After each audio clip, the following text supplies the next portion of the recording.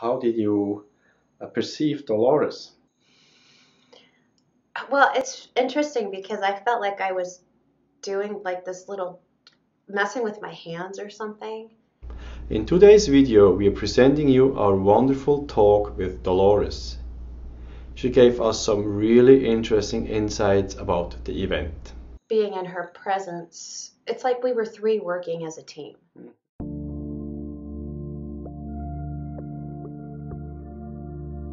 Hi, my name is Andreas from Hyperspace Connection. If you are new here, please consider to subscribe so you won't miss upcoming videos about our hypnosis research projects. This is our part 2 of our research project, The Event. To watch part 1, the link will be posted in the description box below. If it's possible to connect with the higher mind of Dolores Cannon, as we could discuss. To a certain part, yes. Would it be allowed to connect with the higher man of Dolores Cannon to get a few updates about the event from her perspective? Yes, as it is limited. I understand. Then please reach out, connect with the source, and ask for permission to have a few questions answered.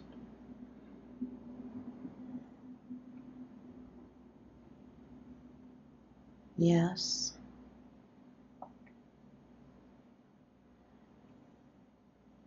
She feels her.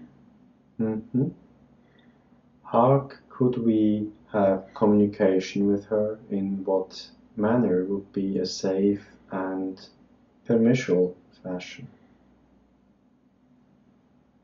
It is like we can work in three, Okay. back and forth, as she works with her and Dolores works with me. We're working in a unit. Okay. Can you please challenge her mind of Dolores if it's really her and ask her if she comes from the light and love?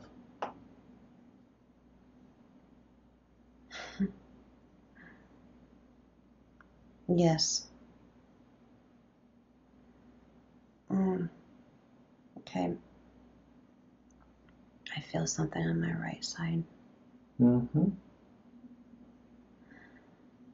So can you welcome Dolores to have a few questions answered? Yes. I will talk to her. Mm-hmm. How's she doing? She's good. She's laughing. very good. Hmm. Well, let her know that you're very thankful for her work she did, that we are here now at this moment in time. So, can you please ask Dolores again if it would be okay to have a few questions answered in regard to the event, some updates in her point of view or perception? She says, Well, tell me what you want to know. And Very be good. specific with your questions. Very good. Okay. So now, as you can see everything what you did when you were still on Earth, and now you're not here in in a body, you can see it from a different perspective. What would you like to tell us as practitioners and clients about the event? What have has changed? Well, she says that things have changed in ways that she could only see, but has gone beyond anything that she would have imagined. As there are things that were being told to her through different aspects, but now it's beyond what she thought it would have been. Could you please ask her how that event now is going to happen. She can't explain that. That is not her. What she's supposed to be doing now. Okay. That is not. This is not to be told through her. This is no. Well, then I have another question for her. Whatever she has taught us and written about, is there anything that she can see now that maybe change of how we see the event? She says that there are things now that she sees that she didn't see then. And what she feels is that the direction it is going can be in a negative and positive way.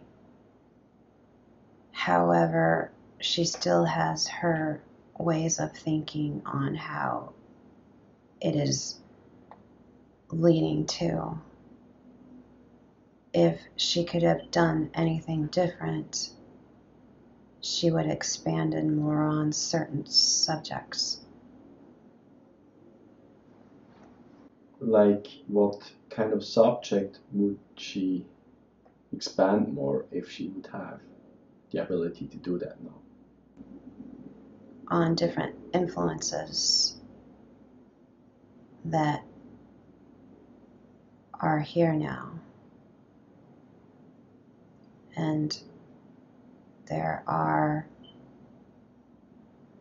very strong forces and ways that it comes through us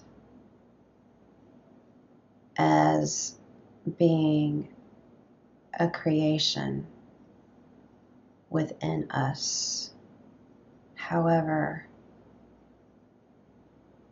it is also a part that we might not be able to comprehend as human beings. Well, with that in mind, does she has any suggestions for practitioners that will have sessions with their clients in regard to what she discovered? Listen to the clients because they are the ones now that are interested. And when you become interested, it is like a light bulb. And in that light bulb is a reason for development. And the ones that come through with information in sessions have something dormant within them, a knowing that the information needs to come out in ways that we might not understand, but in ways that many ancient ones knew. And because of the influence within the mind, as she would say, we create it ourselves has changed the outcome of what is to come. So her point was that certain influences were just a creation of mind, but with her new point of view, um, she sees it different now. In ways that she might have not seen it before or could understand it. So she might have seen it in ways of a creation within ourselves. And that is true in many ways as we create our reality. And that the mind is full of information, but in a way now that we have gotten to a point where we are connecting with different parts of our mind as becoming more connected together as a puzzle piece would be. And because of that, it is like a light bulb coming on.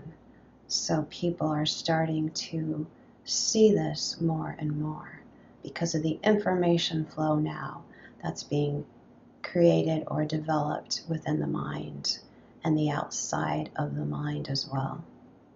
Ask her if there's anything else she would like to share before she parts.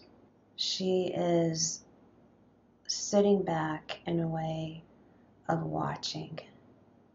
So there are things that she sees that she would have not imagined. And the work we do when we go through this, not just with how she taught, but other ones out there teaching how to be in a state of relaxation. That because things are ascending more on a higher level, that the information is changing as well. And she sees it in a way now that she wishes she could have been here in these times to see more of what the eye sees in ways that it wasn't shown when she was in a human body. Well, then let her know that we are very grateful and we thank her for her feedback and update and we wish her well. Ask her if it's okay to come back in a later moment in time if you would like to have more questions answered. She said that she would allow the information to be here and to listen to what we have to say and is very grateful for the work that we are all doing in ways to help humanity. And before you leave this video, listen to about what's coming. We connected again to the Council of Watchers, so hear Heidi what she has to say. This certain being, or whatever it was, um, was very powerful and was very careful on what it had to say. And don't forget to subscribe and to support us. We would love to hear from you in the comment section below. Bye.